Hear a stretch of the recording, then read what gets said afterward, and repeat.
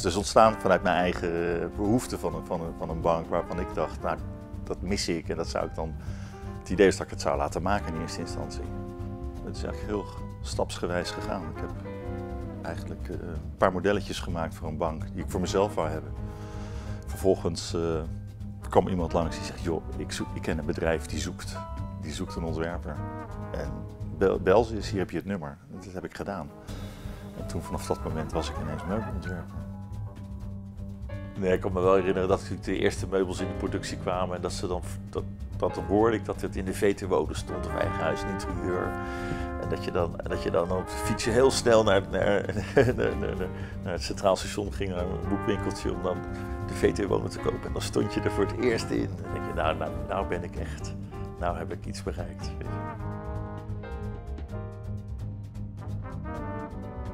We werden niet vroeger heel erg gepusht van je moet je moet gaan schilderen of je moet gaan beeldhouden. Dat was eigenlijk, ging, heel erg, ging alles heel organisch. Dus ik kon helemaal eigenlijk doen wat ik, wat ik eigenlijk leuk vond. En zo ben ik met fietsen gaan rommelen en van fietsen naar motorfietsen en van motorfietsen weer naar auto's. Ik heb het eigenlijk gewoon een beetje zelf uh, lopen uit te vinden. En natuurlijk eindeloos veel vriendjes kwamen altijd bij mij spelen en knutselen en lassen en doen. En dus we hebben elkaar ook heel veel geleerd in die tijd. Zelf kunst maken, ja, dat is lastig, want ik heb natuurlijk wel getekend en gedaan, maar dan zie je alles om je heen, wat je vader en wat je moeder gedaan heeft. Dan denk je, hou maar op, dat heeft helemaal geen zin. Want die zijn honderdduizend keer beter. Ja, dat scheppende, dat zit wel heel erg in de familie, ja. ja en het, ook het eindeloos zoeken naar die perfectie. Dit is de, de stillevenkast van, van mijn ouders. Hier gooiden ze eigenlijk gewoon alle rotzooi in waar ze dan elke keer stilleven mee maakten. Dus het is alles ratje toe door elkaar.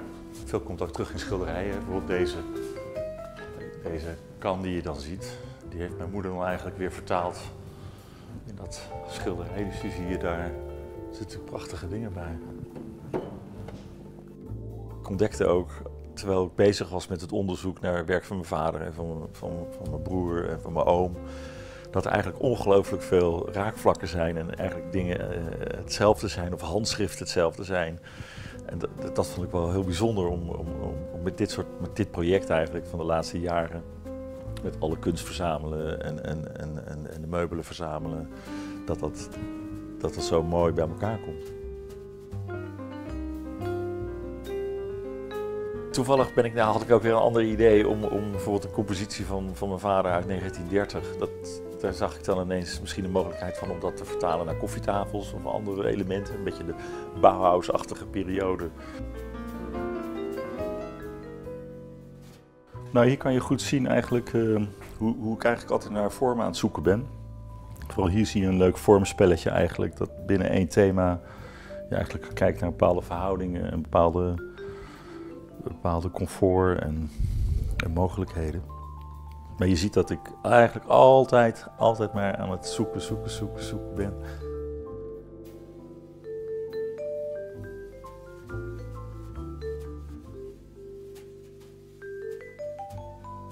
is vanuit 15 jaar vanuit huis gewerkt.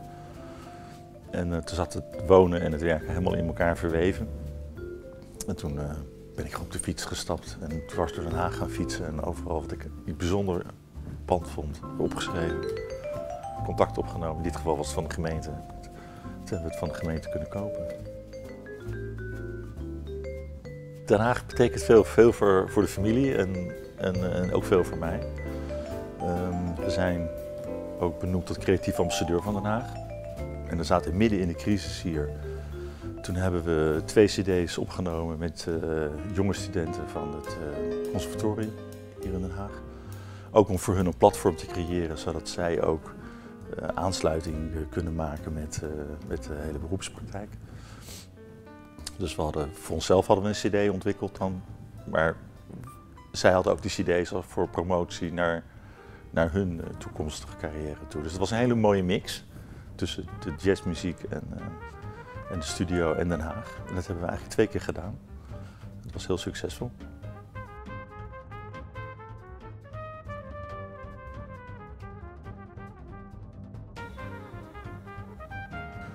Met Leolux werk ik nu 25 jaar samen. En dat begon met, uh, met Jeroen Sanders. En toen belde Jeroen van joh, ik volg jouw werk al jaren. Ik zou het eigenlijk wel heel erg leuk vinden als we dan samen misschien kom, kom langs en dan kunnen we eens verder kijken. Ja, het prettige van Leolux was natuurlijk altijd dat ze, dat de samenwerking en, en het respect voor het ontwerp altijd heel, uh, op, op een hoog niveau uh, door kunnen ontwikkelen. Dus het werd altijd, als zij iets oppakte, werd het altijd nog weer meer. Het werd altijd nog weer mooier. Het werd altijd nog weer comfortabeler. En, en, dat is natuurlijk prettig, prettig, prettig werk als je zo'n lange relatie hebt. En, en je begrijpt elkaar eigenlijk, zonder veel woorden begrijp je precies wat, wat je van elkaar kan verwachten.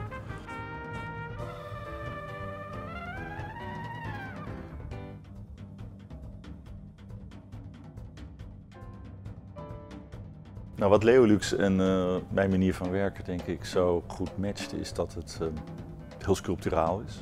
Dat is iets wat Leolux altijd heeft. Het zijn altijd hele bijzondere, unieke vormen.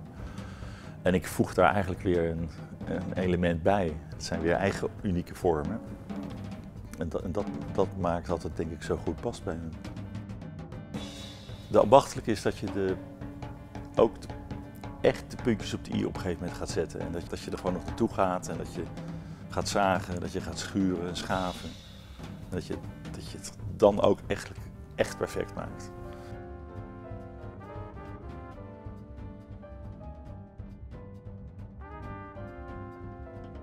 Deze heb ik van Marktplaats gekocht. een dame in Wassenaar. Ik zei, het is misschien een raar verhaal, maar ik ben de ontwerper van die stoel en ik vind dit is eigenlijk de kleur waarin ik hem altijd wilde hebben. En later werd ze helemaal gek gebeld door mensen. Want ik had hem, ik had hem voor 400 euro verkocht of zo. Dat is eigenlijk heel weinig. Maar iedereen belde. Ik was als eerste. En iedereen daarna belde. Want ik wil hem hebben, ik wil hem hebben, ik, wil hem, ik geef er veel meer voor. En hij zegt, ik heb hem verkocht aan de ontwerper. dus dat was erg leuk. Een paar keer gehad dat je ook ergens dat je mensen ontmoet op een feestje of weet ik wat. En dat ze dan zeggen, ja, ik heb net een hele mooie stoel gekocht. Uh, ik zei, oh, wat, wat stoel? Ja, een stoel van Leerlux. Oh, zeg ik. Nou, hoe ziet hij er dan uit, weet je? Nou, nou, dat heb ik gemaakt. Zei, nou, dat is niet mogelijk. dus ja, dat gebeurt, gebeurt natuurlijk gebeurt vaker. Maar dat is heel erg leuk hoe mensen, hoe mensen trots zijn op, op dat ze zo'n product hebben. Dus dat betekent dat, ze het ook, dat het voor hun dierbaar is en dat het, dat het dicht bij hun zit. Op het oog verliefd worden. Dat is het mooie van kunst, denk ik. En dat is niet een noodzaak als een broodrooster. nee, inderdaad.